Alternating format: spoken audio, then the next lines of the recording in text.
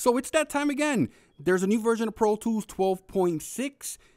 Some of you guys might already know this. If you haven't checked your Avid account, go do that. Click on subscriptions, and there you're going to see all your versions of Pro Tools. And right at the top, you're going to see 12.6. You can download it before you install it. Double check that you have the iLok license for your version of Pro Tools. The reason I'm saying this, Avid is pushing out this software, and what a lot of people don't know is that they're sending out new iLok licenses for this version of Pro Tools. Pro Tools 12.6 might show up under your Avid account, but in your iLok, you might not have the license to run it. So double check that.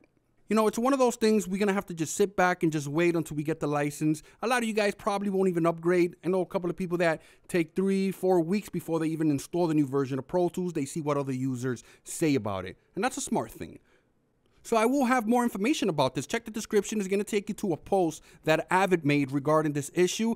As soon as I get my license, I will make a video. I will show you what's new. I also want to discuss the new subscription plans, all the price changes. If you really enjoyed this video, you see that thumbs up button, click it. First time watching one of my videos, subscribe to the channel. It's completely free. At the same time, I want you to check the description. There's going to be some information there regarding the subject that we spoke about. Also, follow me on Facebook, Twitter, and Google+.